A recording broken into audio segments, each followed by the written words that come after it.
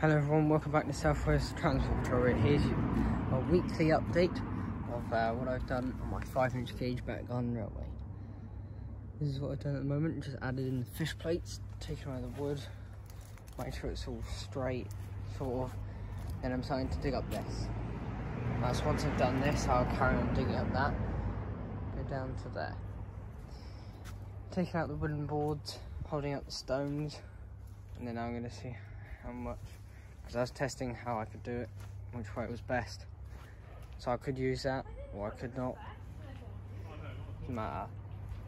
So I was trying to see if it would go downhill, or if it would just like stay up. Be a bit of a problem.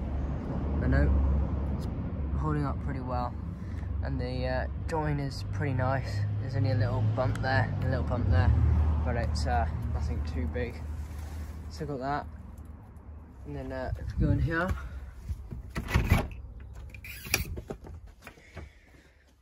as you can see, I am making a buffer at the moment.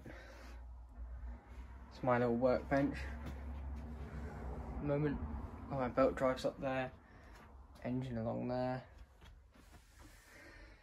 stuff right there, driving trolley parts, and then this is the uh, buffer one, it's the holes drilled out, drilled. Then I'm painting these at the moment. Oops.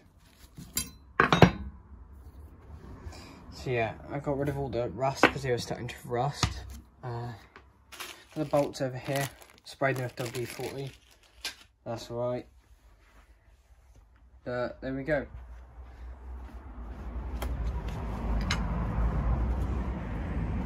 There's the uh, stone still there.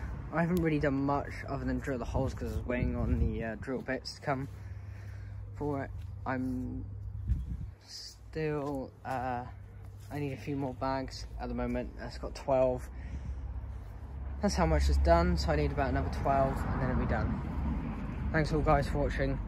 See you in the next one, probably next week.